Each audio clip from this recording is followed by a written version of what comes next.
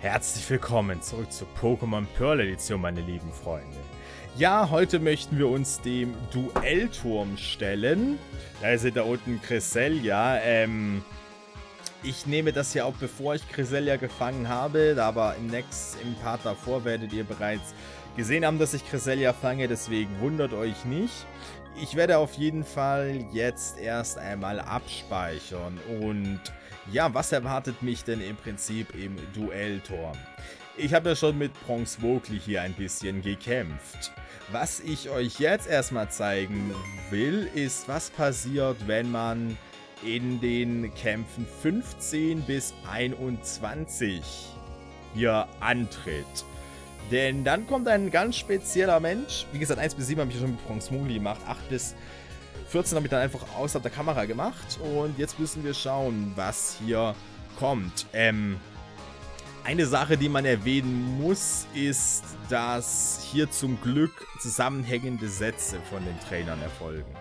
Das war auch mal anders. Also es war tatsächlich mal so, in der dritten Generation, dass irgendwelches, irgendwelche Wörter zusammengesetzt wurden und da kamen dann so Sachen raus wie deine Mutter ist dein Vater und ich mache keinen Witz, keine Witze. Das ist tatsächlich in den, in den Top 5 der englischen Dinger so.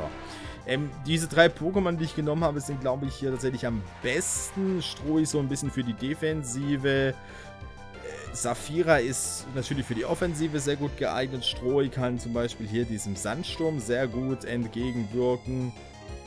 Also von daher wird das funktionieren. Das probiere ich jetzt auch mit meinem originalen Team. Das müsste noch hinhauen, aber wenn ich dann tatsächlich bis 49 es probieren möchte, da werde ich dann Hilfe benötigen. Das wird ohne äh, in keinem Fall funktionieren. So viel kann ich euch schon mal sagen. Da werde ich ein neues Pokémon holen müssen. Aber so viel erstmal dazu. So, das ist viermal stark. Also eigentlich, eigentlich darf Kamerup das hier nicht überstehen. Alles andere hätte mich nicht nur extrem gewundert, es hätte mich im Prinzip aus allen Wolken geschossen. Also von daher, und natürlich gibt es hier keine Level. Das hier ist ja im Prinzip einfach nur ein CP-Kampf ähm, gegen einen PC. So. Mantax. Da habe ich nicht wirklich was für. Ich habe Miss E, die defensiv ebenfalls gut ist. Ich habe zwei Pokémon, die eher defensiv orientiert sind und eins, was sehr offensiv orientiert ist. Pro, Probiere ich mal mit Saphira. Bei ihr ist es halt immer, ich muss den Wechsel überleben, was in diesem Fall gut geglückt ist, weil mein wirklich seinen Zug mit Regentanz verschwendet hat. Danke. So dass ich mich jetzt äh, darum kümmern kann, es mit Donnerblitz anzugreifen. Und das ist auch erneut viermal stark. Also eigentlich nichts, worüber man sich Gedanken machen müsste, dass ich das nicht überlebe. Wow, okay. Gut, Blubstrahl wurde natürlich durch Wasser etwas verstärkt. Das ist, das ist klar. Also von daher gut, aber keine Chance, dass Mandax das überlebt. Obwohl es, was die Spezialverteidigung angeht, durchaus nicht zu unterschätzen ist. Aber das ist schon gar kein so einfacher erster Kampf. Weil ich gegen Kamerupte eben gleich mal ziemlich gewallt, weil ich hätte natürlich auch äh, mit Psychokinese draufhauen können, aber war mir dann vielleicht doch ein bisschen zu riskant. Okay, Sengo. Ich habe jetzt kein Pokémon, was Kampfattacken direkt beherrscht. Morlat wäre es vielleicht nicht schlecht gewesen, aber ich glaube, ich mache das mit Psychokinese und schau mal. Oh, scheiße. Oh Gott, äh, das ist, das ist nicht gut, aber klar, es war Stab drauf. Mal schauen, ob das vielleicht eventuell... Nein! ja, jetzt habe ich mich selbst umgebrannt, weil natürlich hat mein Topuz ein Lebenorb. Aber die Nasdaq ist ja vorbei. Das jetzt zählt sowieso alles was ganz anderes. Ich möchte euch das nur zeigen, weil es hier relativ interessant ist. Was ich nicht holen werde, sind alle Statuen. Weil für alle Statuen muss ich äh, unter anderem 50 Trainer im Doppelkampf besiegen. Das wird noch gehen. 50 im Multikampf. Das geht schon nicht, weil ich kann mich hier mit niemandem verbinden und 50 im Link-Multikampf. Das geht noch weniger. Also von daher, das ist definitiv keine Option. Aber da bekommt man eben immer Sachen, die man dann in seine Geheimbasis in den Untergrund stellen kann. So, okay. Sengo ist damit besiegt. Das war aber auch ziemlich knapp, wie viel der mit Schlitz abgezogen hat. Also, das war jetzt eigentlich ein ziemlich harter erster Kampf hier. Ich hoffe, danach beruhigt sich einigermaßen, weil ich muss noch, muss noch sechs Konsorten besiegen. Und natürlich werden meine Pokémon aufgeheilt. Also, also sonst wäre das ja, wäre das ja... Pff, sonst würden nur die Hardcoreigsten der Hardcorer das schaffen. Also, so 0,5% der Pokémon-Spieler würden dann vielleicht 100 Siege in Folge gewinnen wenn man sich bei sieben Trainer wirklich nie auffallen dürfte. Also von daher. So, Relikant. Das kann ich mit Donnerblitz gut erledigen, aber da Relikant jetzt nichts wirklich hat, mit dem es mich mit einem Schlag besiegen kann, werde ich mich einfach mal mit Ränkeschmied ein bisschen aufbauen. Ah, sehr gut. Er benutzt Härtner. Das tangiert mich überhaupt nicht, da ich ja mit meinem Spezialangriff angreife, aber ich glaube, ich greife jetzt trotzdem mal an. Ich glaube, einmal Ränkeschmied reicht auf jeden Fall für Relikant aus. Und die Idee ist natürlich, dass ich dann so mächtig bin, dass die Pokémon, die danach kommen, ebenfalls relativ schnell von mir erledigt werden können. Das, ob das funktioniert, ist wieder die andere Frage, aber es, soll, zumindest soll es in der The The Theorie so sein. Genau bei Cargo ist zum Beispiel so ein Fall. Das ist jetzt defensiv kein Mega-Künstler, und von daher müsste eine einfache Psychokinese mit Lebenorb und einmal Ränkeschmied, das hat immerhin den Angriff um 100%, den Spezialangriff um 100% erhöht, ausreichend, wie ihr seht. Das funktioniert auch so. Diese Taktik habe ich ja auch bei Theresa in den Top 4 verwendet. Und ist jetzt ziemlich gut funktioniert, wobei da Lemorb nicht dabei war. Hier kann man dann tatsächlich sicher sein, dass man die Pokémon mit einem neutralen Angriff erledigen kann. Genau, und jetzt natürlich Kikli. Weg mit dir. Ja. Ja. Gut. Ist auch etwas, bei dem ich nicht wirklich erwartet habe, dass wir, dass wir es lebend sehen werden. Äh, von daher... Und genau, so läuft so ein Kampf eigentlich idealerweise ab. Schwierig wird es dann, wenn ich tatsächlich auf ein Pokémon treffe, bei dem ich sage, okay, da möchte ich Saphira in der ersten Runde eigentlich nicht drin haben. Ähm, oder da möchte ich sie austauschen. Sobald man eigentlich Ränkeschmied eingesetzt hat, ist es eigentlich keine gute Idee mehr zu tauschen, sondern dann soll man einfach draufhauen, mit was geht. Und ihre Chippen-Variation ist ja zum Glück so, dass wenn ein Unlicht-Pokémon kommt, sie mit Donnerblitz draufhauen kann. Deswegen, ähm, man sollte schon, sobald, wie gesagt, reingespielt hast, es immer versuchen. Ja, da bringe ich jetzt eine Eisattacke für, habe ich nicht. Drache habe ich auch nicht. Aber es ist nur ein Draschel, das heißt, so viel Schlimmes kann es mir nicht antun. Von daher mache ich erneut die Ränkeschmied-Taktik, um hier durchzukommen. Okay, Krimasse ist jetzt ehrlich gesagt undankbar, weil ich brauche Init. Von daher, bevor es meine Init jetzt komplett äh, nach unten senkt, ich bin immer noch schneller als Draschel, aber Draschel ist auch sau langsam, greife ich lieber mal an um einigermaßen auf Nummer zu gehen. Und ihr seht, es reicht schon. Das ist gut. Aber das ist eben immer so ein bisschen das Risiko, was man mit Ränkeschmied eingeht. Dann setzt der Gegner eben auch mal was ein, was meine Statuswerte verringert. Und dann habe ich ein Problem. Ja, zum Beispiel jetzt Mag9. Und das ist, das ist wirklich ein Problem, weil meine Ene eben zusätzlich noch gesunken ist und Mag9 wahrscheinlich schneller sein wird. Ja, genau. Aber wie gesagt, sobald man, sobald man einmal reingespielt eingesetzt hat, ist es eigentlich wirklich eine schlechte Idee zu tauschen. Versuch, muss man einfach versuchen, zu schaffen, was geht. Genau, und jetzt habe ich zur Option, entweder ich schaffe es mit Donnerblitz, ihn zu erledigen oder nicht. Aber der Trainer wird es nicht auffallen, weil man keine Items benutzen darf. Und dann kann Morler das nächste Mal den Rest... Oh, sehr gut. Sehr gut. Wenn ich jetzt dementsprechend Glück habe, schaffe ich sogar den nächsten zu erledigen. Weil genau beim durch Lebenmob wird noch ein bisschen was übrig bleiben. Okay, Chelka rein. Da kann ich... Oh, ich bin schneller, okay. Ich meine, Shaker rein ist auch ziemlich langsam. Ich glaube, ich glaube, es ist sogar noch langsamer als Traschel. Das weiß ich gar nicht genau. Oh. Oh, aber das hingegen, ob ich jetzt jetzt noch schaffe, trotz der Quaco-Beere, ist es kein Step. Yo! Gut, gut. Es hätte auch durchaus ins Auge gehen können, aber... Okay, Doppel-K.O. Ja gut, was auch immer. Ich meine, zählte ja jetzt nicht wirklich, sondern da geht es wirklich nur darum, dass man den Gegner letztendlich besiegt. Und zwar egal wie. Man, da, kann, da, kann, man sogar Explosion einsetzen. Wir sind ja in keiner Na Nas... Also wir sind ja ja nicht mehr in einer Naslog, auch wenn das alles noch auf dem Rahmen steht. Übrigens, dass das noch im Titel steht, hat einfach nur den praktischen Grund, dass äh, es sonst in der Suche schwierig wird, die Parts miteinander, miteinander zu verbinden. Deswegen, und das ganz ruhig ist das, ist das Naslog angelegt, deswegen steht es doch im Titel, aber ja, an und für sich ist sie, wie gesagt, vorbei. So, wie Senior, das bietet sich erneut super für die Taktik an, weil ich bin mir ziemlich sicher, dass eine Psychokinese nicht ausreichen wird. Aber wenn ich das dementsprechend... Hat er mir gerade mein Leben weggenommen? Toll, jetzt habe ich Wahlband. Verdammt. Ja gut, äh, dann darf ich jetzt definitiv nicht mehr Ränkeschmied einsetzen. Weil wenn ich Wahlband habe, dann ist das nicht mal, nicht mal, nicht mal im allerkleinsten Fall noch eine Option. Ich glaube, da sollten wir uns alle einig sein, aber dementsprechend ist, also das ist, das ist zum Beispiel nie eine Taktik, die ich verwenden würde mit, mit Wahlband. Also ich mache es viel lieber mit Ränkeschmied. Das Problem ist halt, dass sich jetzt mein Angriff um 50% erhöht und das nützt mir überhaupt nichts. Ich kann es natürlich auswechseln, dann hebt sich der Effekt auf, dass ich nur eine Attacke einsetze. Davon mein Item bekomme ich dadurch nicht wieder. Das bekomme ich erst nach dem Kampf wieder mein Leben. Oh. Zum Glück ist es nicht für immer weg. Da würde ich aber auch Ape-Shit gehen. Wobei das hier sowieso nochmal anders ist. Items, die man hier verbraucht, sind danach immer wieder da. Beispielsweise, wenn man bei Magnezone einen Ballon einsetzt, dann ist er einfach wieder da. Und ich hätte gerne Flammenwurf eingesetzt, aber geht nicht. Ich habe das Wahlband, von daher muss ich mit Psychokinese weiter angreifen. Oh, und das reicht. Okay.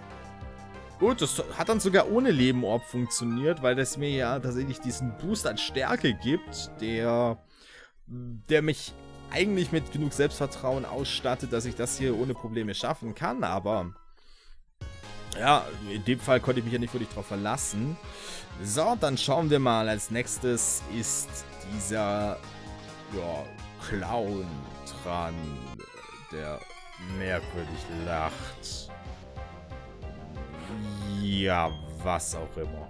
Okay, Radikal. Das ist erneut etwas, bei dem es wieder die gleiche Richtung geht, wobei ich mir vorstellen könnte, dass Radikal mit Superzahn eröffnet. Und dann wäre die Frage, wie ich danach fortfahre. Ich, ich bin mir einfach in vielen Fällen ziemlich sicher, wenn ich Psychokinese einsetze, bleibt ein bisschen was übrig. Und ich müsste dann eh zweimal angreifen. Also warum nicht einmal Ränkeschmied einsetzen, um für die Volleycap auch noch einen Vorteil zu haben. Und seht ihr Superzahn, wie ich gesagt habe. Aber ja, deswegen, wenn jemand sagt, ich kann ihn doch auch mit zwei Angriffen erledigen, warum soll ich dann eine Verstärkungsattacke einsetzen? Für die danach. Weil dann ist man dauerhaft verstärkt und hat gegen die anderen auch noch einen Vorteil. Das ist im Prinzip der ganze Joke dahinter. So, was, nochmal ein Sengo? Also ihr seid ziemliche Sengo-Fans hier, kann das sein? Hab doch gerade eben erst eins erledigt, aber... Ja, ich meine... Hm. Bei dem ist doch knapp was übrig geblieben, oder? Wie waren das nochmal? Ja gut, diesmal ist es auf jeden Fall tot. Ich, ich weiß gerade gar nicht mehr, ob ich es tatsächlich mit Saphira angegriffen habe oder ob es mit jemand anderem war. Aber ich glaube, es war mit Saphira. Und Methan das ist jetzt wieder so ein Fall, bei dem ich froh bin, dass ich kein Wahlwand habe, weil da würde ich mit Psychokinese gar nichts ausrichten können. Letztendlich wäre es schwierig, es zu tauschen. Gut, wenn ich ein Wahlwand hätte, würde ich aber auch nicht Ränkeschmied einsetzen. Von daher wäre die Situation dann ein bisschen anders. Aber so kann ich variieren zwischen meinen Attacken, weswegen ich den Lebenorb deutlich bevorzuge eigentlich macht ein Wahlitem nur Sinn, wenn man wirklich viel Init braucht, wenn man Wahlschal nimmt, weil dann die Init um 50% steigt. Das kann mir das, das kann mir mein Leomorb nicht geben. So viel bin ich bereit zuzugeben, aber ansonsten, ähm, wenn man einfach nur seinen Angriff verstärken will, lebt doch viel lieber ein Lebenmorb, wirklich. So, okay. Dann Metang. Und ihr seht, wenn ihr einen klassisch, klassischen Sweeper habt, der schnell und stark ist, dann sind diese KP, die verloren gehen, kein Problem. Klar, in-game ist es beschissen und nervig. Aber ansonsten, wenn man, wenn man hier so spielt und man sich je nach jedem Kampf aufhält, ist es eigentlich kein großes Problem. Oh, sehr gut. Es, es geht daneben. Jetzt hatte ich Angst, dass es gerade läuft wie vorher, aber irgendwie, ich meine, jetzt haben wir schon wieder das zweite Mal Metang, wir hatten schon zweimal Sengo und diese Grimassen-Taktik sehe ich jetzt auch schon das zweite Mal, also irgendwie kann man hier so gewisse Parallelen zwischen den einzelnen Leuten erkennen. Fällt's euch auf? Aber gut, ihr merkt, äh, ich muss gar nicht so sehr zu meinen defensiven Pokémon greifen, nur beim ersten, sondern Saphira kann das hier ohne große Pro Probleme erledigen. Das wäre jetzt wieder was, was Stroh sich gut drum kümmern könnte, aber wie gesagt, dadurch, dass ich Ränkeschmied oben habe, geht das auch so und das ist ja auch die Idee. Also entweder man beginnt mit jemandem, der irgendwie das gesamte Team trollt mit etwas wie Tarnstein oder Riftstachel. Oder man beginnt erstmal mit dem Sweeper, schaut zu, erledigen, was geht, gerade wenn man es aufgepowert hat oder wenn jemand etwas Hochmut oder sowas hat. Und dann schaut man mal, was man mit seinen defensiven Pokémon in oder ja reißen kann, während der Kampf länger geht, weil die sind natürlich immer gut in der Hinterhand zu haben, sage ich mal. Einen Sweeper in der Hinterhand zu behalten, weiß nicht, ob das so sinnvoll ist, weil letztendlich da kommt dann rein und man muss ewig mit seinen defensiven Pokémon dagegen kämpfen, kann vielleicht ein, zwei erledigen. Hm, ja, nee, ich halte ich es anders für, für sinnvoller. So, sehr schön, damit ist Loris besiegt und dann schauen wir doch einfach mal, was jetzt passiert. Die halten deine Pokémon. Ja, ja, klar. Ich beglückwünsche dich zu deiner Siegesserie, Siegesserie, Herausforderer. Der Kampfkoloss ließ bestellen, dass er von dir beeindruckt ist. Kampfkoloss? Ja, er kennt deine Fähigkeiten an und fordert dich zu einem Kampf heraus. Okay, ist das stark? Natürlich, er ist der Kampfkoloss. Bist du bereit? Okay, was auch immer der Kampfkoloss ist, aber ja klar, schick ihn her. Äh. Hi. Hi, hier ist Victor. Oh Mann. Du bist... Richtig, ich bin Günthers Vater. Und ich erinnere mich noch an dich ja... Ich kann mich noch an dich erinnern. Ich erinnere mich noch an dich aus Zweiblattdorf. Das haben wir mit meinem Sohn Günther gespielt. Ah, Mensch, bist du gewachsen. Sehr beeindruckend, deine Entwicklung. Es ist eine Zeit, dass du es mir zeigst. Ich meine, dass man das dich untrennbar mit deinen Pokémon verbindet. Sag mir die Fähigkeiten, die du dir als Trainer angeeignet hast. Ja, das ist der erste von zwei Kämpfen, den man hier gegen Victor machen kann. Ja, Victor ist natürlich eine offens offensichtliche Anspielung an Sieger. Und tatsächlich, er ist ein Mega-Champion und er hat es geschafft, den Familienfluch zu brechen, indem er einigermaßen langsam und verständlich reden kann. So, Milotic. Das ist jetzt schon mal von einem ganz anderen Kaliber als die, gegen die wir davor gekämpft haben. Ein voll entwickeltes, starkes Milotic ist nicht einfach zu bezwingen. Milotic ist allerdings offensiv auch nicht so stark, dass ich mich jetzt fürchten müsste, dass es mich mit einem Schlag erledigt. Von daher Ränkeschmied erstmal.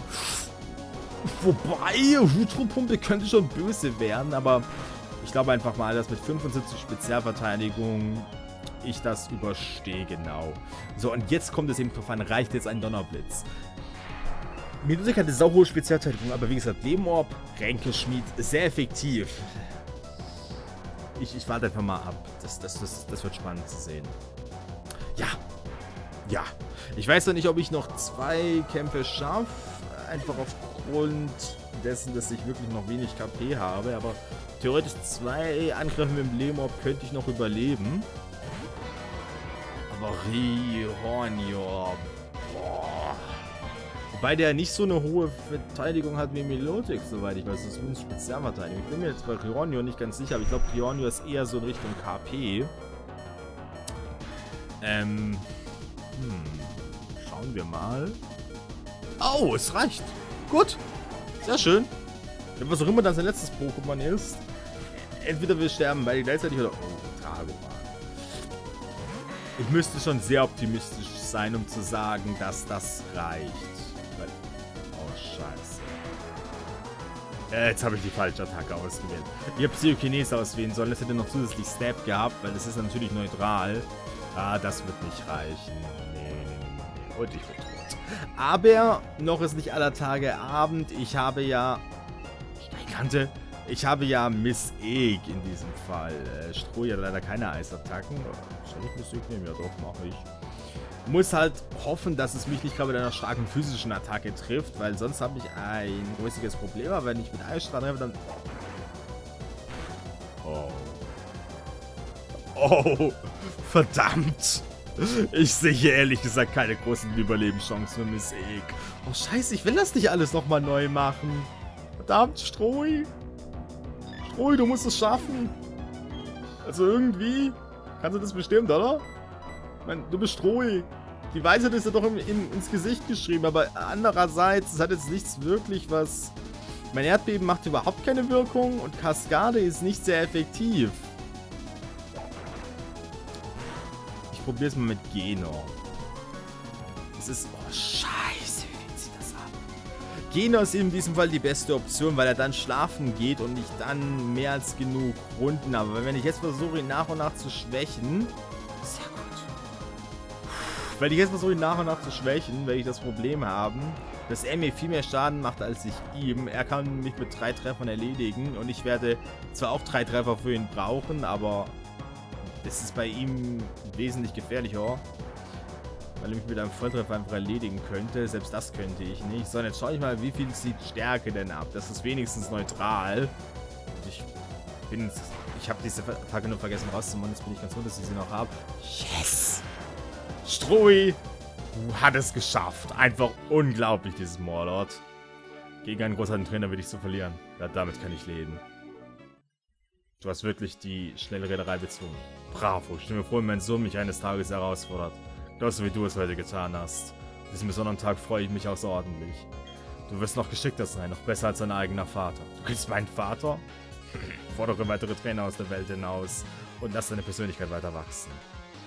La pass mal auf, dass du nicht zu enttäuscht sein wirst, wenn du gegen deinen Sohn antrittst. Genau, wir halten jetzt 20 Gewinnpunkte, endlich mal sowas wie viel. Und wir halten spezielle Bänder. Genau, ähm, nächsten Part mache ich dann weiter beim zweiten Kampf gegen den Kampfkoloss. Bis dahin, danke für Daumen hoch. Und wir sehen uns dann das nächste Mal bei Pokémon Pearl Edition. Genau, 20er Siegerserie. Und wir erhalten diese Trophäe dafür. Die Bronze-Trophäe. Und wie man weitere kriegt, sehen wir dann nächstes Mal.